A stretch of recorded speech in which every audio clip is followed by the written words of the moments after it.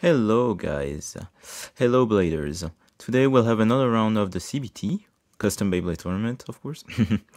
uh, we'll have Green Water 45 with Metal Face, Galaxy Pegasus, Final Drive, and we'll have Sotiris with Earth Pegasus, Wing 105, Ball Sharp BS.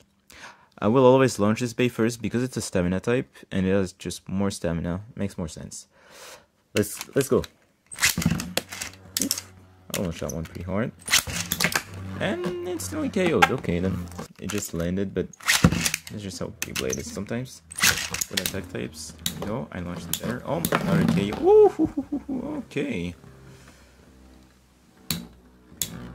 Attack should beat stamina, but the thing with Final Drive is that its attack power relies on the RF but the RF only activates when the bay is weak, and Galaxy needs speed to KO otherwise it's kinda bad. So again if you wanted an attack type with like metal master parts you may want to pick Spyro anyway we got a one. He's gonna take it with a one uh, with a outspin.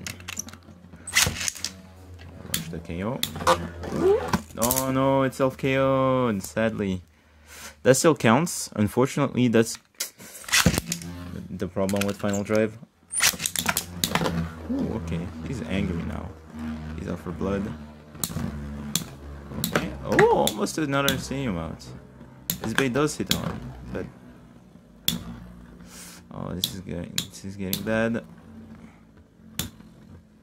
Maybe final drive will be good. A few hits. There we go. Oh no, final drive failed. Oh, almost a KO though. Oh, that's unfortunate because he got big hits, but sadly Oh, and he even got flipped over. My, he didn't want anything to do with this battle anymore. Okay, Sotiris is the winner. 3-1 victory over Greenwater. Greenwater, thank you for entering. That was a pretty interesting combo as well, using Final Drive on a Metal Master Bay. Maybe next time if you want to use this concept, use something that is better for attack. Like, Diablo could work well with this. I've heard.